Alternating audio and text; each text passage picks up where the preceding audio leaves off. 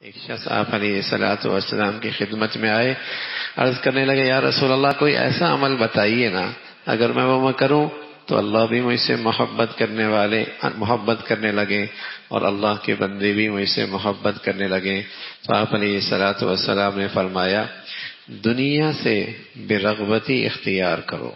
दुनिया को अपना मकसूद और मतलूब न बनाओ, तुमसे अल्लाह मोहब्बत करने लगेंगे तुमसे अल्लाह मोहब्बत करने लगेंगे। और जो लोगों के पास है, मालो जाह, उससे बेगरज हो जाओ। उससे बेगरज हो जाओ। तो फिर फितरती बात है, लोग भी तुमसे मोहब्बत करने लगेंगे।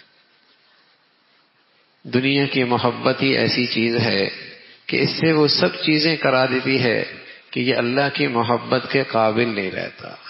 दुनिया ही को जब आदमी मकसूद और बता, मतलूब बना ले तो ये वो कुछ कर बैठता है कि अल्लाह की मोहब्बत के काबिल नहीं रहता और जब इससे बेरगबती इख्तियार कर लेगा और इसको अपना मतलूब और मकसूद न बनाएगा तो ये अल्लाह की मोहब्बत के काबिल होगा।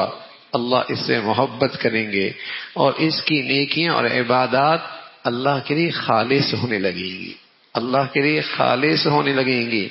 और जब आदमी दुनिया वालों की पर हिरस हर हिरस हवस की नज़र न डालेगा और बेगरज हो जाएगा और इसकी नज़र सिर्फ़ अल्लाह के खजानों पे होगी तो सलीम फितरत लोग भी इससे मोहब्बत करने लगेंगे। अल्लाह रबुल इज़्ज़त ये खूबियाँ हमें भी नसीब फरमा दे।